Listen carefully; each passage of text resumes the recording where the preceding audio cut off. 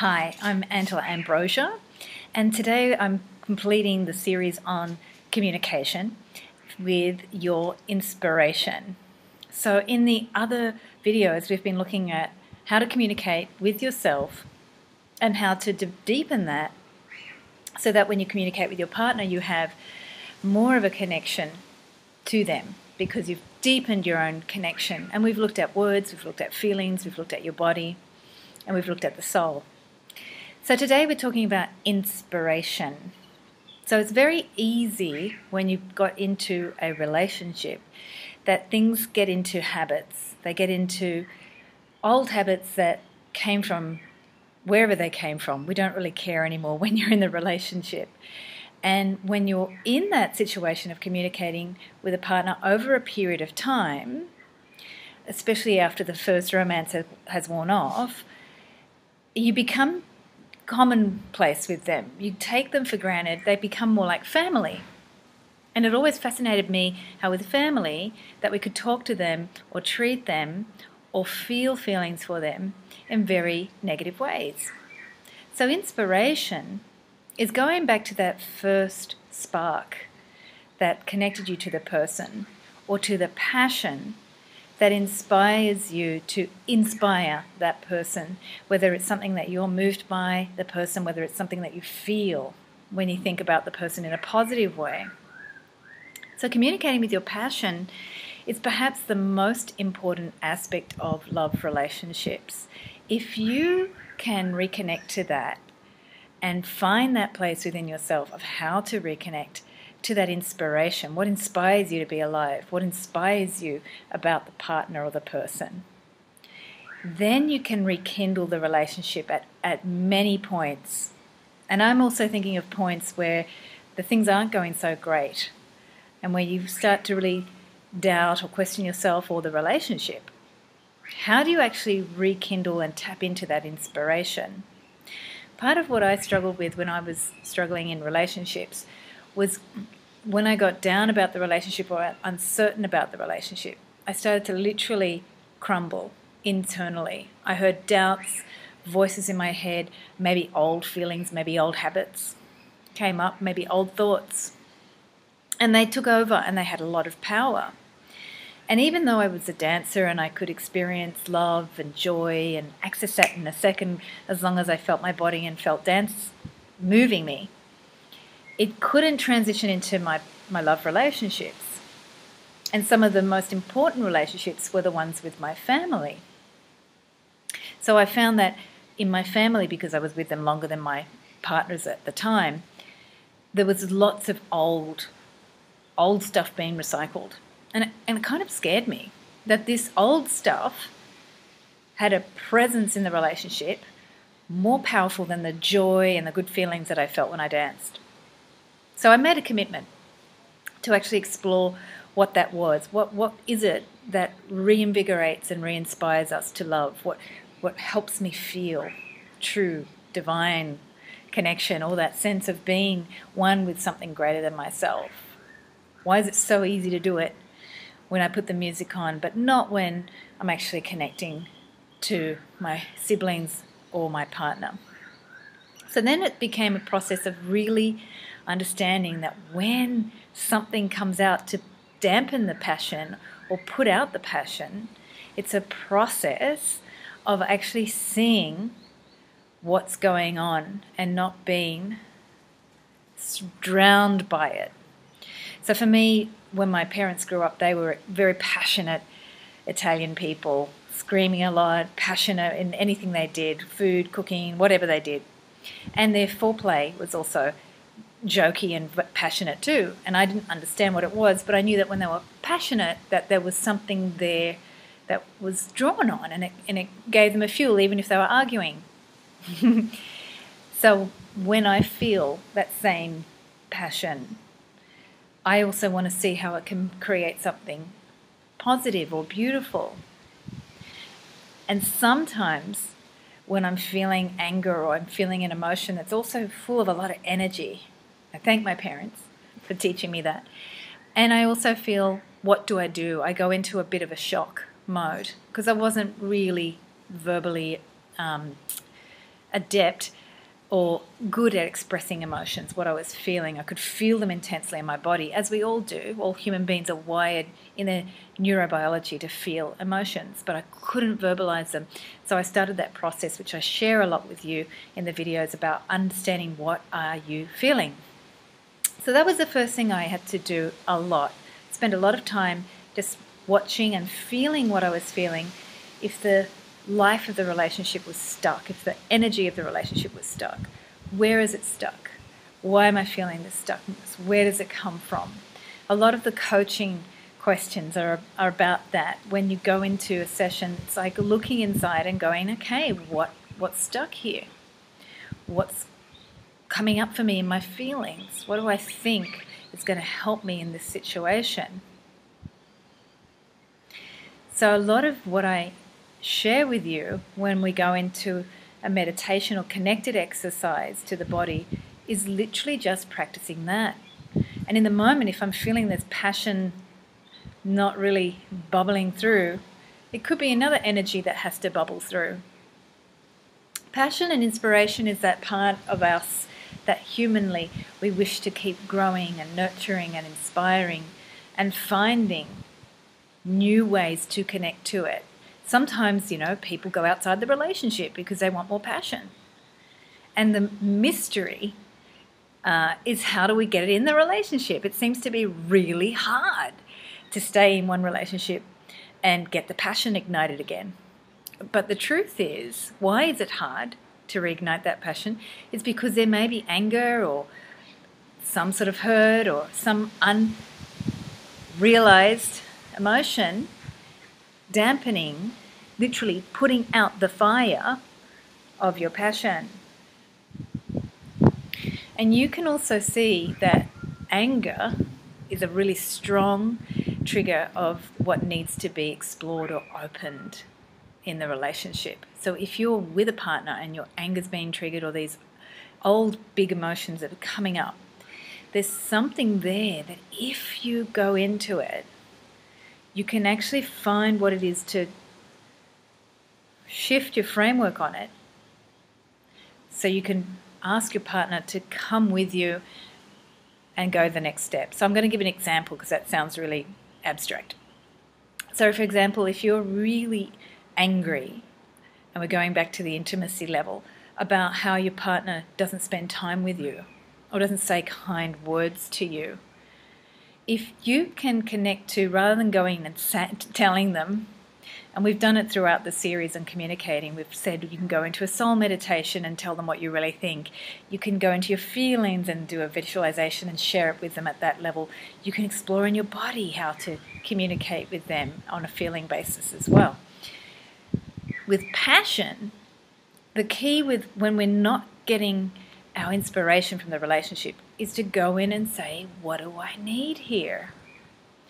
And find out what's not being met, acknowledged. So if you're in a situation with your intimacy and you're not getting that from your partner, we can spend all day arguing with our partner, telling them, You're not taking me out enough, you're not spending quality time with me enough, you're not touching me enough, you're not doing this enough.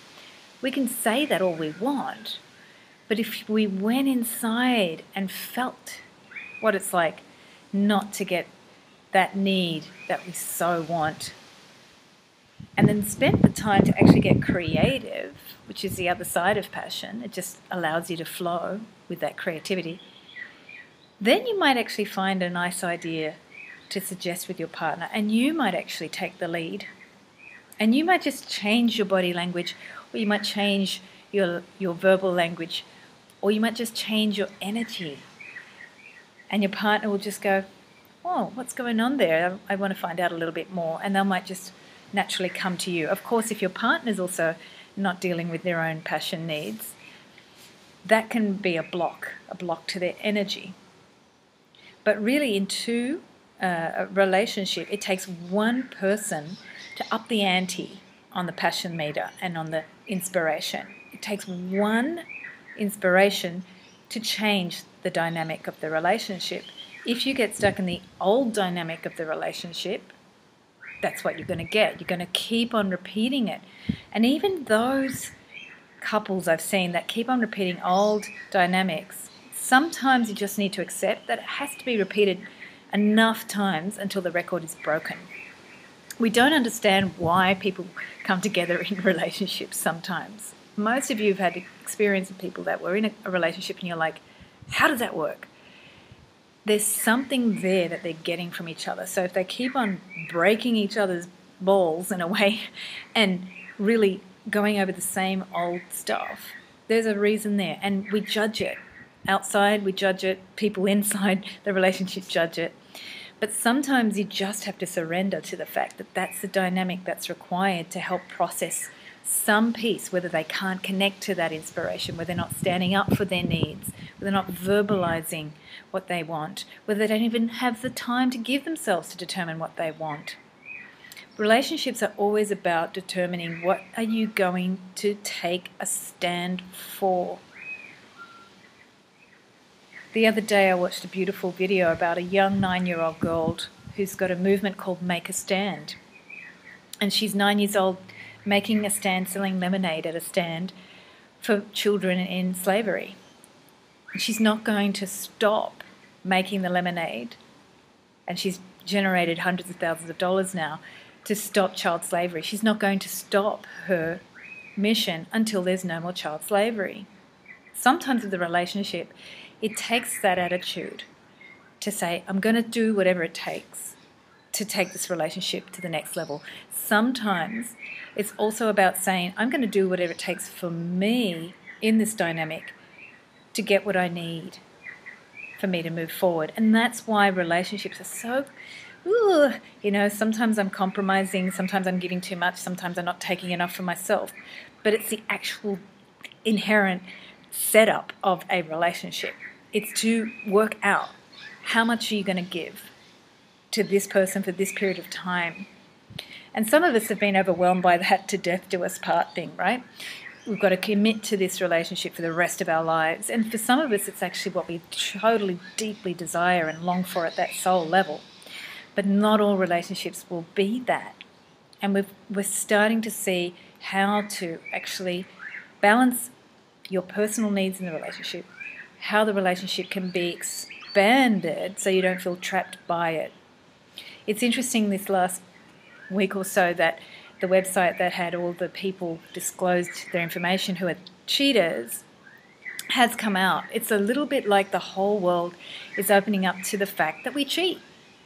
It's been a, a truth for thousands of years, but now we're actually going to start saying, okay, it's an aspect of relationship.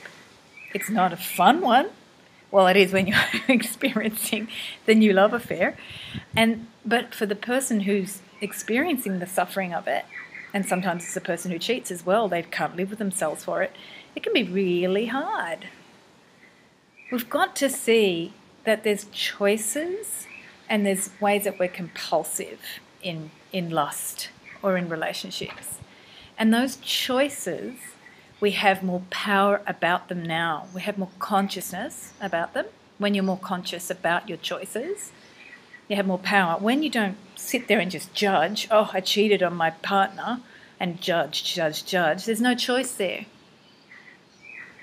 If you actually sit and feel, yeah, I cheated on my partner, where did that come from? If you begin to look at what that whole relationship dynamic is, it really throws up a lot of challenges to the relationship that we haven't consciously dealt with as a culture. We've always had people cheating, but we've just sort of accommodated and said that's okay. It's part of life. Men are like this. Women can't satisfy a man. Whatever story. It's been lots of stories. Not interested. What is it that the choices are that you have? This is what people come to love and relationship coaching for. They want to get creative. They want to be free. So, passion and inspiration is your place to have and develop a freedom. You might not like something in the relationship. How can you inspire it to change? Look, I'm the worst person when it comes to boundaries and getting angry in the relationship by not standing up for myself. So I've had to suffer through this and learn, and I'm still a work in progress. I get angry because my boundaries aren't respected or recognized. And I have to go inside and go, well, something hasn't been recognized here. What am I going to do? What am I going to do? I can point my finger at my partner all I like, but what am I going to do to take that relationship to the next level? How am I going to inspire my partner rather than throw angry words at them? And as we mentioned in communicating with words, the worst scar you can do in a relationship is have those compulsive, angry, bitter, nasty words. And I watched that in my family too. So I really have been burnt by those words, and I don't do that in my family. None of my siblings do that with words anymore. We really have watched how it's destroyed relationships, and all of us learned we didn't want to go there. You don't. But the only way to shift how that compulsive language comes out is to get inside, feel, and find what it is that needs to be expressed and how you can do it in a expansive way. So let's look at an expansion exercise about your passion. I usually um, suggest two things to do when you're connecting to your passion. Of course, with all that lovely connection to your body that I recommend, is just to practice, practice, practice feeling how good that is to open up to your heart and yourself in that center of your body. The other part is to really just know what to do with those other feelings that suggest you might shut down that passion, or you might push that partner away, or you might feel very betrayed for whatever reason, whether it's a sexual betrayal or something else. So, in, in today's exercise, we're going to look at the part where you actually feel like you need to shut down. I'm going to connect you with a, body connection process, and this is one that I use pretty simply all the time. We see it a lot in, on my I Love Monday videos, connecting into the heart, giving that space for the heart and feeling that in that extension of the heart. So, firstly, we're going to connect in to that place where we constantly come back to and we'll never leave, really. Feeling the hands now on the heart chakra, center of the chest. Just start to feel that pulse or that blood underneath your hands or warmth or whatever you feel there. Bring awareness to it. And as you breathe, close the eyes.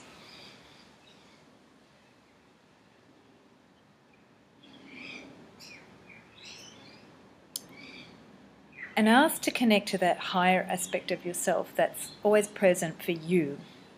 You might call it your higher self or whatever you call it.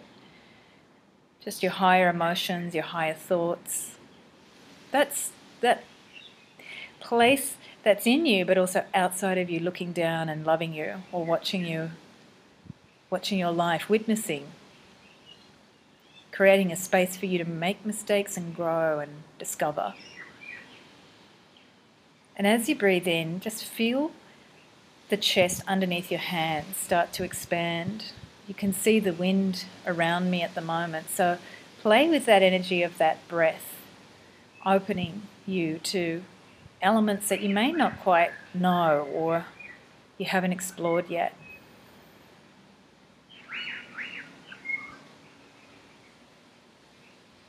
And as you breathe, just feel that connection between the chest and the hands. So the hands are energetic connections from your heart. They actually reach from the heart themselves. So feel that energy of your heart center in the hands.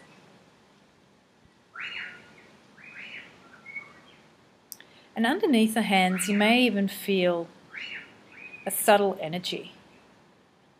So I'm going to give you the image of the golden light, but play with any energy that you like. You may like to see a fire or a flame, candlelight, a rose. Just see what comes to you as you connect to the subtle energy there.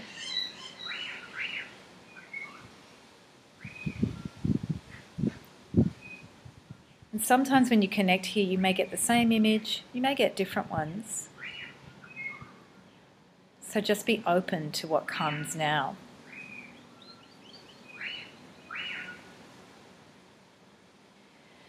And as you breathe into that heart center now, we're going to ask you to connect to where your passion or inspiration lives. So I call inspiration the positive aspect of passion. See where it lives here. If it lives here or somewhere else in your body. So notice what happens when I ask you to connect to where your passion or inspiration lives. You may get a word or you may find a person come to you.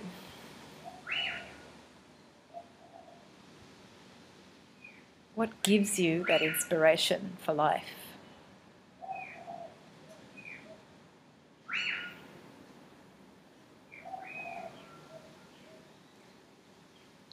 And as you feel the heart itself, some of you may even notice as you connect to that inspiration that the quality changes in your heart. The vibration of it feels different or just it just feels nice or a little bit faster in your pulse. Something might flicker or be different for you.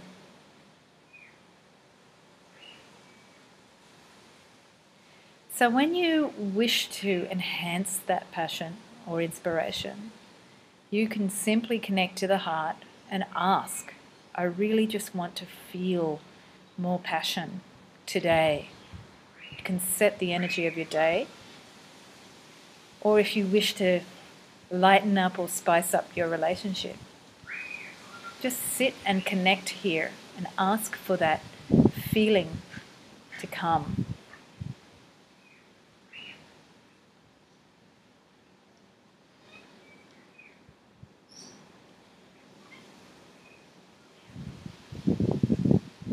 And then you can visualize in the center of the chest a golden light.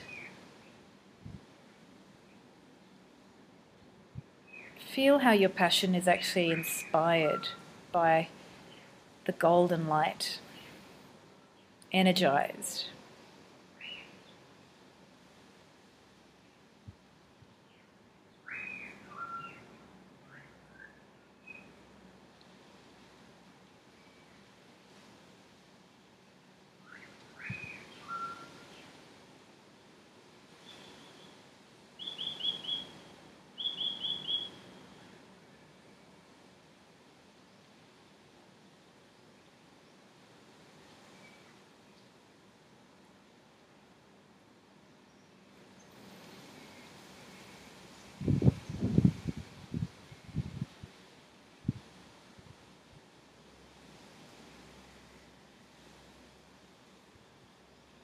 So, at any time, you can actually really just ask for that passion to be kindled or rekindled inside of you. For some of you, you may notice that as you're experiencing the passion or the feeling underneath your hands, some images come up. And those are very vital. They're things that your higher self or your body or your emotions are bringing to you to have a look at. So when you do connect here and there's something that comes, pay attention to what's coming. Still feel the energy that you're being given or asked to feel more of in that passion. And then, if at any time you have an experience in a relationship where you're feeling that the energy is being dampened, what you can do is just simply connect back here, feel the energy, and ask, show me, what is it that is dampening or stopping my passion right now?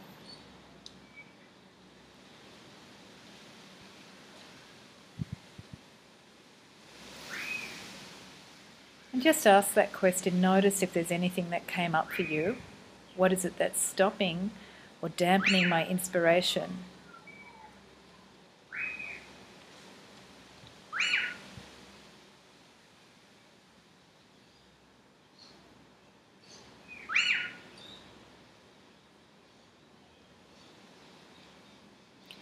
So, for some of you, if you do have emotions coming, you can simply ask, please show me what I need to understand or see to transform this energy. Inspiration is a very important role in our world. At any moment, you may feel tired or not really feeling it, bored, lacking motivation. That's normal. But to reconnect to that inspiration is just as easy and quick. So if you do experience a dampen or block or sense of boredom or numbness, simply say, Show me what I need to understand or see in order to transform this feeling.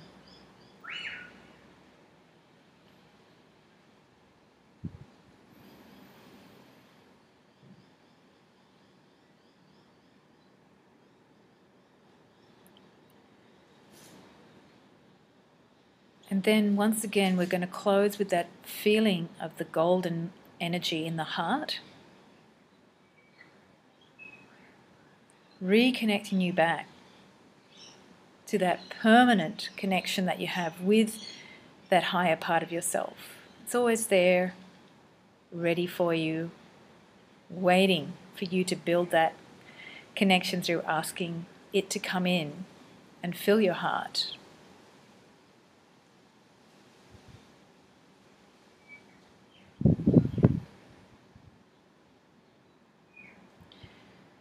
And then, as a closure of that connection, just find a way to honor that connection so you can give thanks. Thanks for that understanding or connection to your passion or inspiration.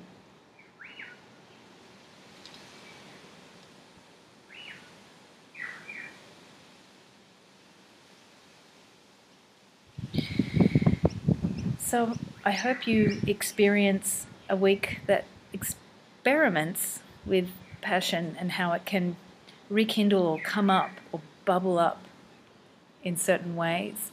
We too often think that when negative things happen to us, that it's the end of something, and we don't look at how something new can come.